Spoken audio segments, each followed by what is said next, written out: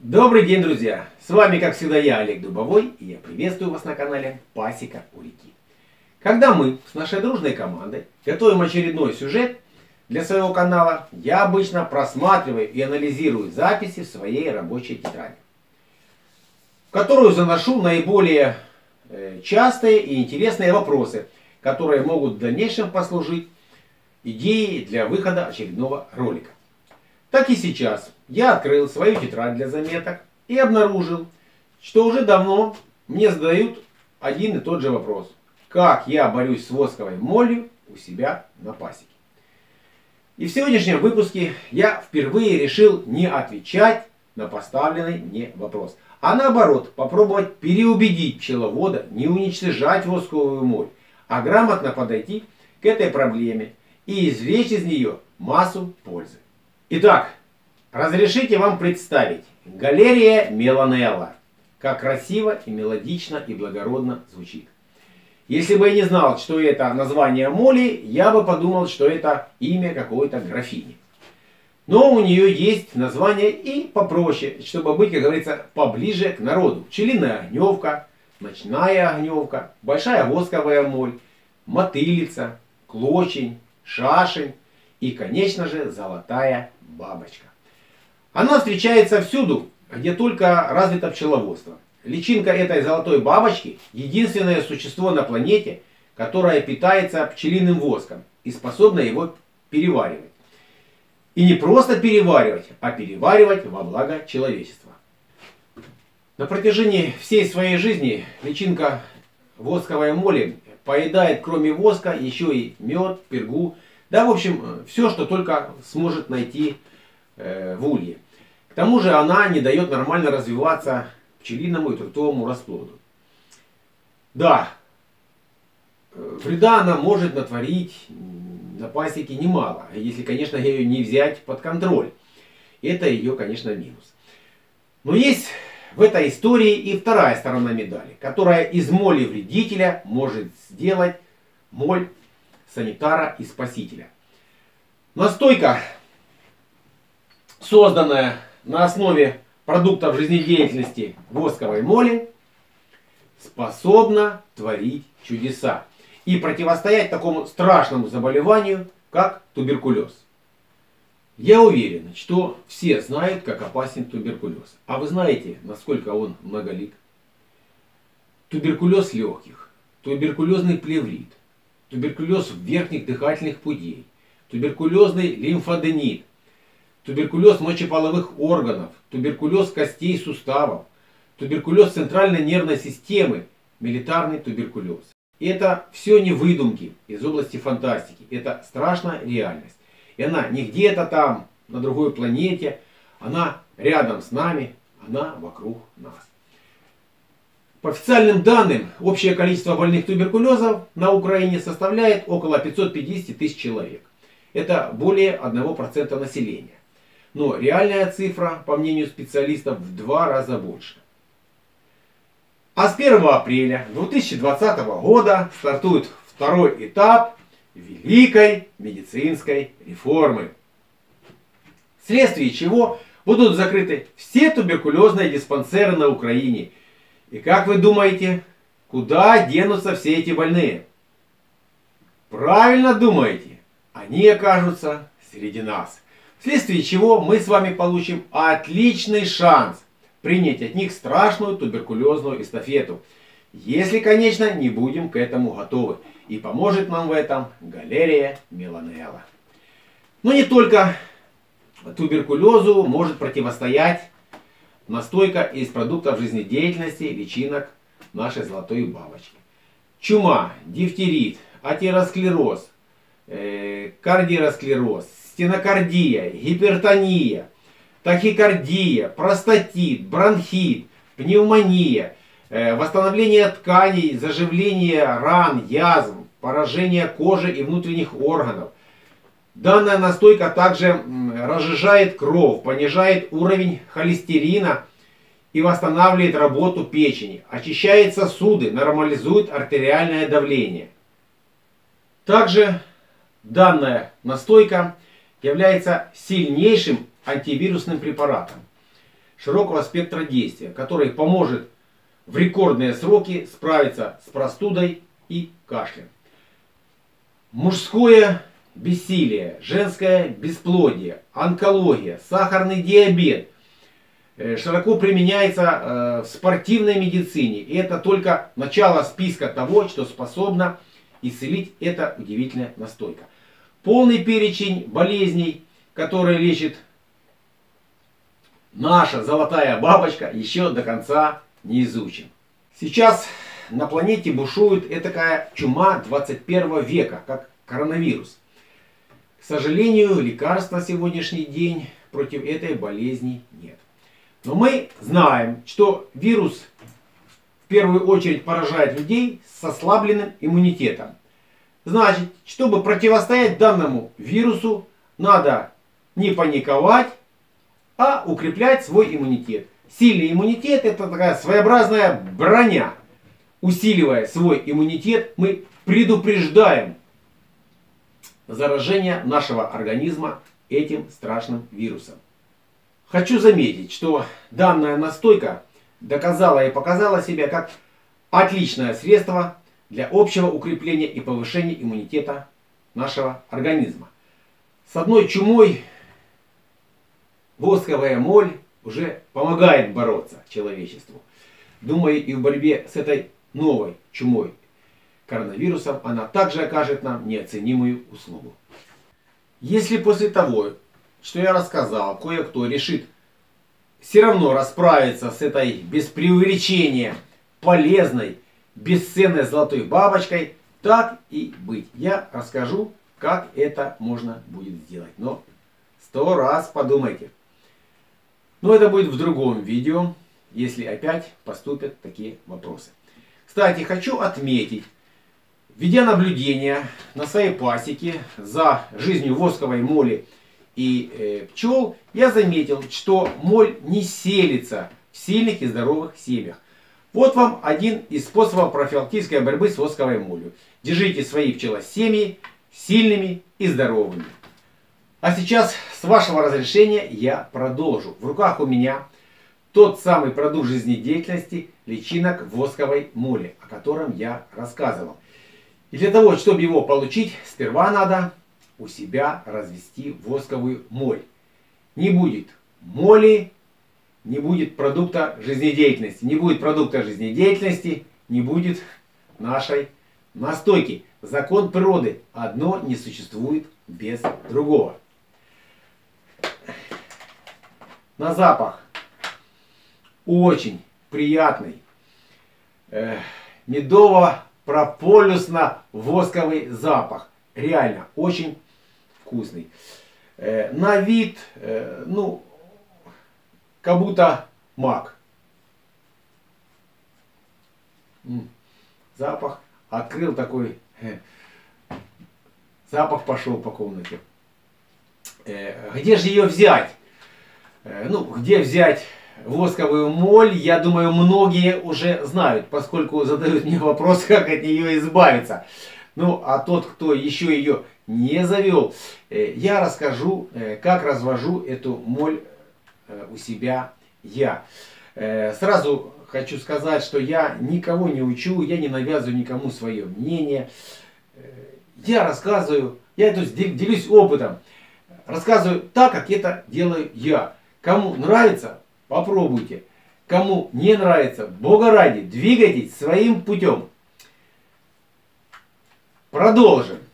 После того, как температура воздуха достигнет э, плюс 25, плюс 30 градусов, берете пустой улей, либо ройловку и помещаете в них две рамочки с темными сотами.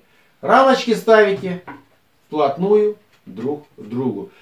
На рамочках должны быть, должны быть остатки перги, остатки меда и как бы жилье с угощениями для моли готово. Остается только выставить улей, либо э, вашу роиловку на пасеку и подождать.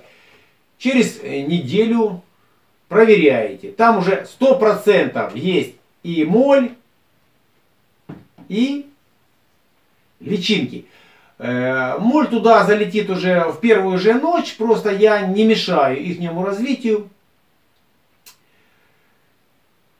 Пусть развиваются, пусть моль отлажит, пусть ей ничего не мешает. Ну, начало вашему малинарию положено.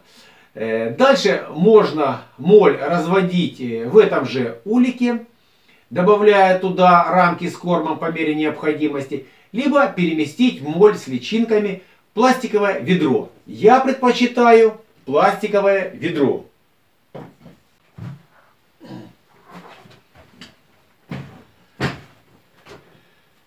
Вот такие у нас пластиковые ведра. Объем них 33 литра. Крышке вырезана дырка. Сюда вставляется обычное сито. Э, почему сито? Ну, быстро и удобно кормить моль. Чтобы эту крышку не клацать постоянно. Вытащил. Забросил. Тут у нас вот, вот личинки куколки. Вот.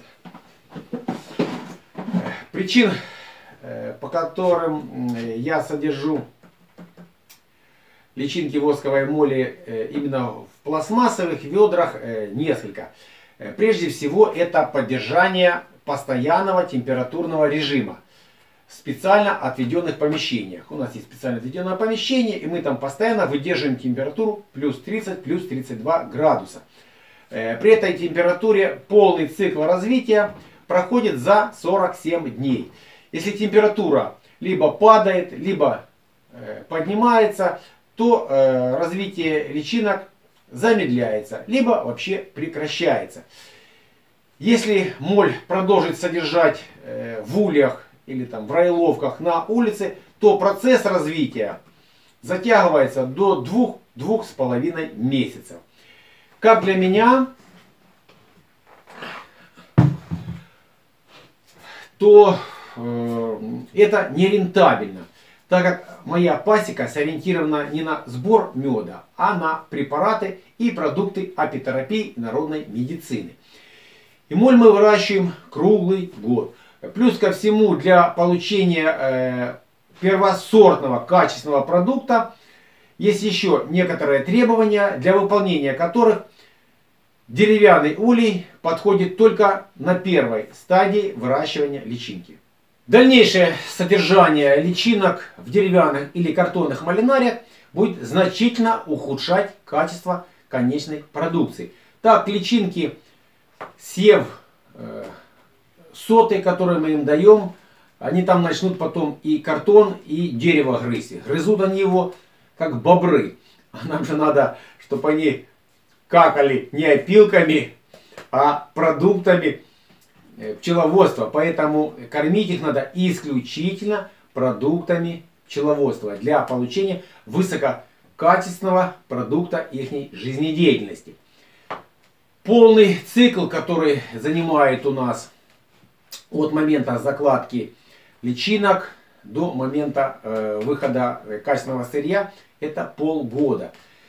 Э, за это время они э, съедают э, тот воск, который мы даем, потом в определенный период времени мы перестаем им давать воск, они его съедают, есть им нечего, а личинки рождаются, они начинают поедать себе подобных, начинают заново есть свои, свои продукты жизнедеятельности и через их желудки он проходит несколько раз. И только после этого выходит качественный, действительно эффективный продукт. Ну, как бы э, с выращиванием моли мы разобрались. Да, если вдруг кто-то захочет выращивать моли, скажет, ну, вам хорошо, у вас там есть помещение, э, а как быть нам? Вот как быть вам? А вам быть очень просто. Неоднократно я уже показывал на своих видео декристаллизатор. Берете пластиковое ведро, загружаете туда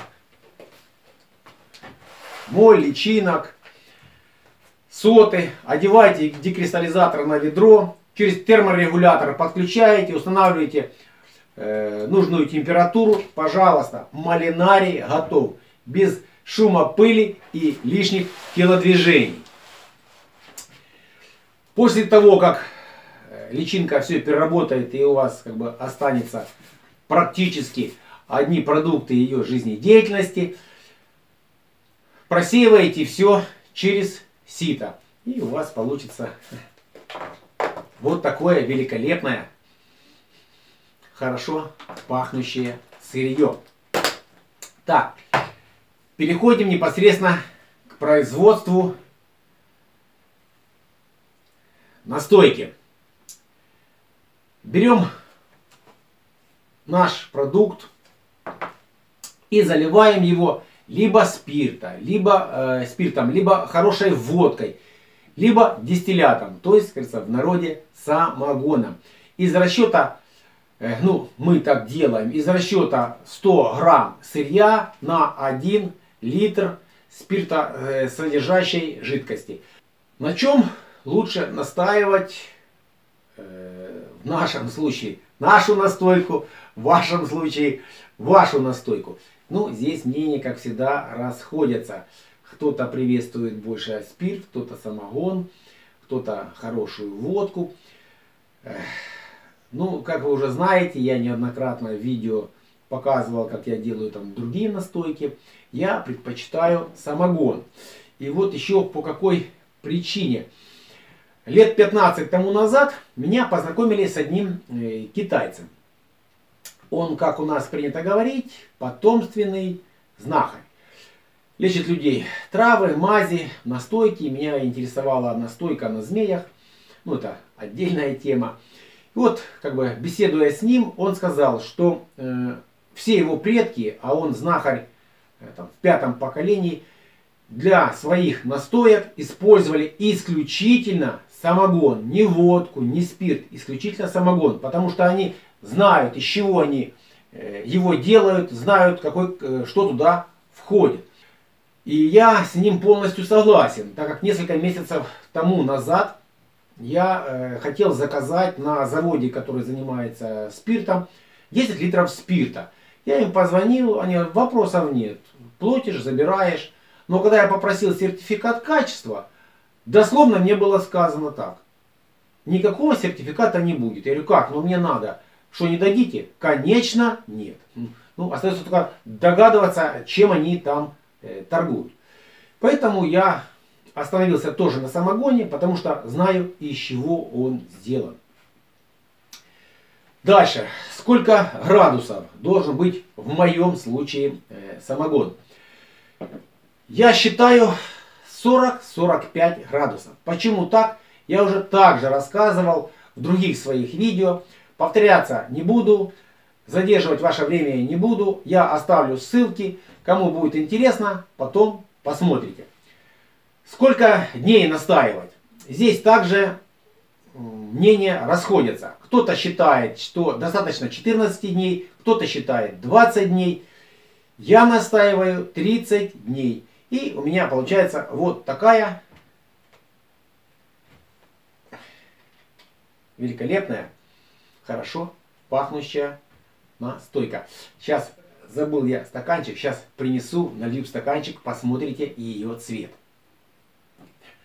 Принес бокал, как говорят, э, бокал для благородных напитков и для благородной настойки, сделанной на продуктах жизнедеятельности восковой моли.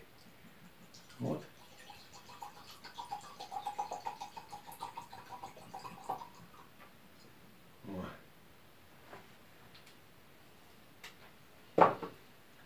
В данном случае посмотрите на ее цвет. Видите? Великолепный запах. М -м -м. Блаженство.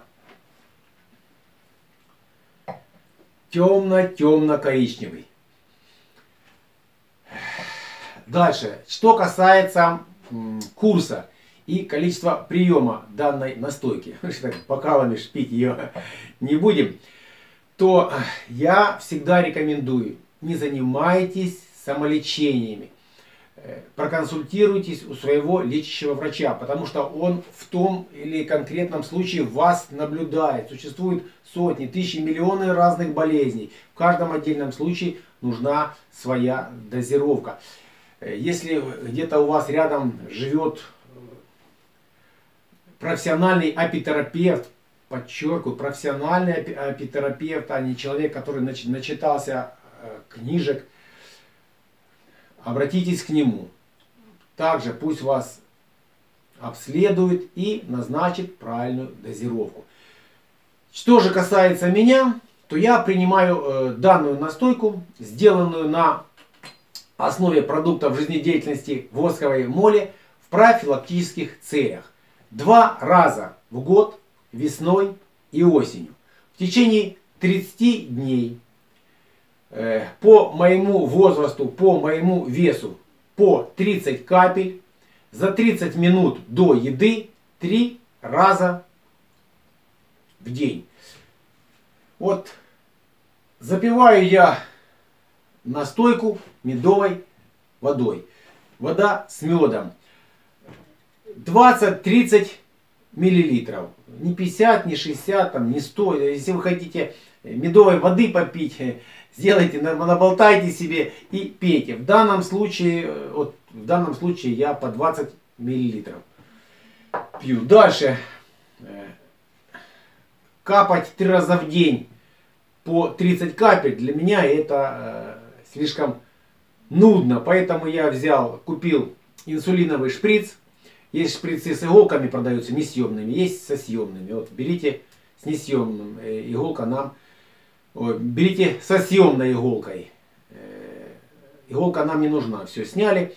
Я первый раз накапал настойку и шприцом замерил. Вот у меня получается 30 капель. Это цифра 80, ну там чуть-чуть больше, 80 и два деления на инсулиновом шприце. Все, довольно все быстро. Взял и в медовую воду. Все. И за 30 минут до еды выпил.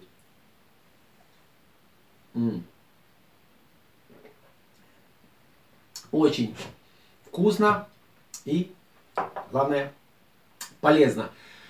Что касается противопоказаний, то это индивидуальная непереносимость пчелопродуктов. Что касается приобретения данной настойки и других пчелопродуктов с нашей пасеки. Я думаю, такие вопросы в комментариях будут. Э, я оставлю внизу под данным видео в закрепленном комментарии телефон для связи, звоните. Также оставлю почтовый ящик. Пишите, почту мы всегда проверяем и отвечаем на э, те вопросы, которые там задаются. Ну, на сегодня все, что знал, рассказал, чем мог, поделился. Укрепляйте свой иммунитет, Крепкого вам всем здоровья. С вами был Олег Дубовой на канале Пасека у реки. Всем пока, до новых встреч!